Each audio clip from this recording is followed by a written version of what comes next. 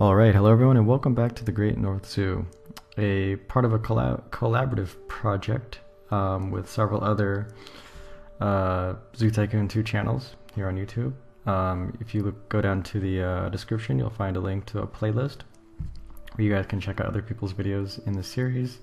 And um, yeah, so without further ado, I guess we'll get into this. So right here you can see I'm just basically furnishing the um, the log cabin that you saw in the first episode, um, which is kind of repurposed as a uh, staff center.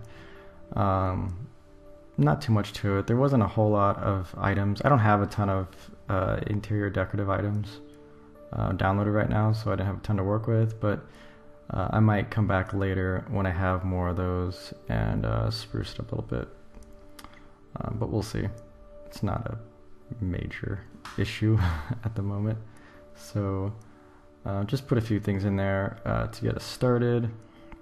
So that way it looks like it um, uh, fills the role that I, I needed to or wanted to. I actually considered trying to fit, find a way to put the actual staff center inside there uh, and incorporate it into the building, but mm, I think that would have been too difficult. This is not the right look. Uh, it's, it's possible that I could um, still do that maybe in the future. Could do something like that. Maybe put it along the side of it, um, and then sort of change all the the walls and stuff. Hide it. Hide all the stuff that doesn't look too great uh, behind other stuff, other custom um, items and stuff.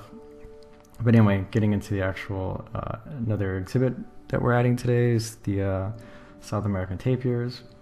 Adding two of them uh, to the zoo in this small um, area over here, kind of behind the uh, the wild boar exhibit.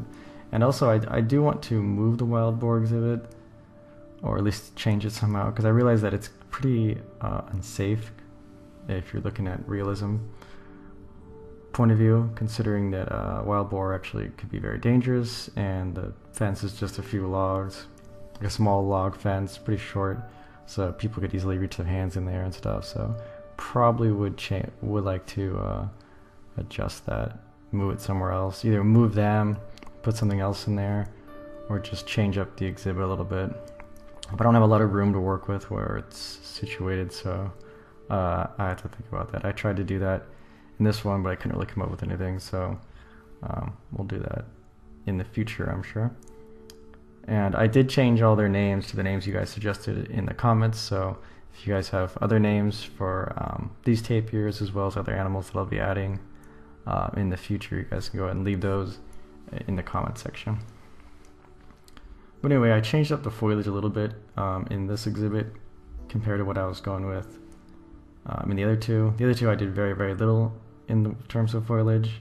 Um, I figure over time I'll change that and add more, but this one's a little bit more tropical, which I think is probably appropriate. And I added the sand uh, just to sort of break it up, make it look a little more interesting instead of just having everything be the uh, boreal or temperate forest ground. So. And just closing off this that over there, um, there will be more exhibits in that direction at some point, um, but but not yet. So, and I think in just a second here, we'll go to. Um, a tour. You can and you can see the exhibit up close. Just adding these few logs and stuff. And yeah, here we go. So nothing else has really changed. Uh, all I did in this one was just um, you know work on that log cabin, get that finished, and then um, do the second exhibit or third exhibit, I guess it would be. Um, and then I actually forgot to put a staff gate in here when I did this part, but I added one afterwards. So Still only have the one zookeeper, but there's only three exhibits and they're all pretty small and close together, so that's really all I need.